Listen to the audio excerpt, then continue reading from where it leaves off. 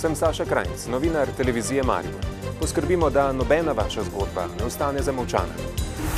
Kdaj naj bi Mariborsko letališče dobilo novo podobo, nam zagotovostjo tako ne zna povedati nihče. Še pred nekaj tedni so jih našteli 400, zdaj jih je nekaj več kot 50. Je to sploh mogoče? Ne zamudite, novic dneva, vsak delovnik ob 18. Dnevnik televizije Maribor. O ljudeh, za ljudi.